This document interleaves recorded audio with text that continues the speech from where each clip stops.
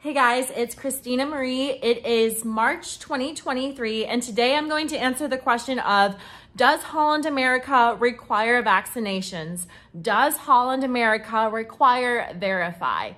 Does Holland America require a COVID test before boarding their cruise ships? These answers are all the same. They're no. Um, so Holland America just recently changed their policies for example, my mom is leaving literally next week to go to Argentina.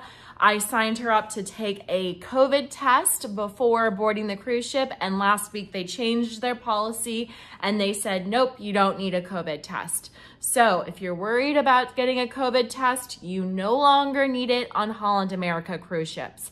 Do you need a booster or a vaccination proof evidence before boarding Holland America? Um, no.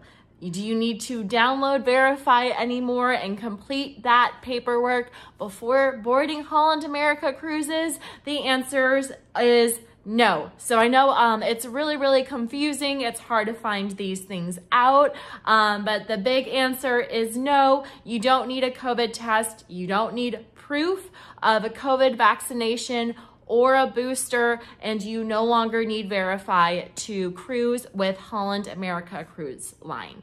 Hopefully you found this video helpful. I tried to get straight to the point and check out my playlist below with more information about cruising with Holland America. Thanks.